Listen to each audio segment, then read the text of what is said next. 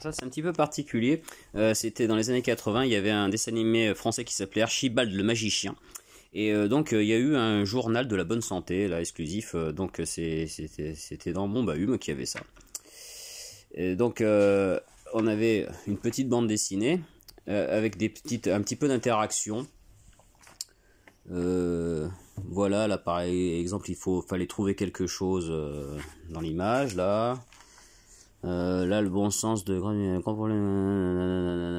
alors voilà ce qu'il faut faire dans le bon ordre, voilà, euh, pour se laver, se brosser les dents, manger, tout ça. Euh, là, il y avait un petit truc à flécher, voilà, pour, pour découvrir un petit peu ce qu'il fallait faire. Euh, là, il fallait voir, euh, donner les bonnes bulles aux bonnes personnes, enfin bon, aux bonnes bestioles. Euh, là, les pièges du, de l'océan tabagique. Donc là, c'était pour, euh, pour voir un petit peu par rapport au tabac. Voilà. Là, les Jeux Olympiques des Elfes. Une visite médicale, pas besoin. Je termine mon bain de soleil, voilà. Enfin bon, on disait un petit peu ce qu'il fallait faire ou pas faire. Voilà.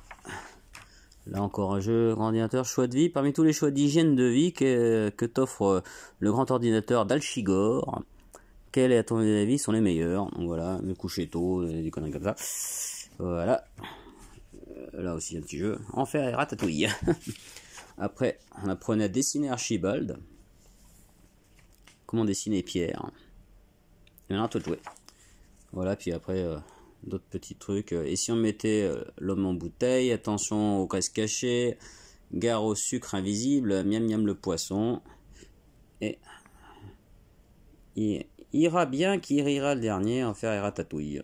Voilà, comité français d'éducation pour la santé à Paris, les numéros de téléphone à l'époque. Voilà, ça ça c'est du collector. euh, ça va être très très dur à dénicher.